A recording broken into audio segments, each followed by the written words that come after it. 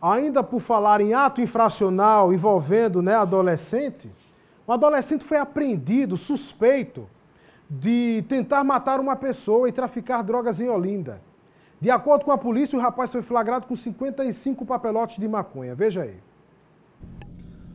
O adolescente de 16 anos estava bem próximo à residência onde mora, quando uma equipe do 1 Batalhão passou pelo local e desconfiou do rapaz. Os policiais resolveram parar para realizar a abordagem, que foi numa rua no Alto da Conquista, em Olinda. No momento da revista, eles encontraram dois papelotes de maconha no bolso da bermuda do rapaz. De acordo com a equipe, durante a conversa com o adolescente, ele acabou confessando que estava vendendo entorpecente e ainda revelou que na casa onde mora tinha mais droga. Foram estes 55 papelotes de maconha.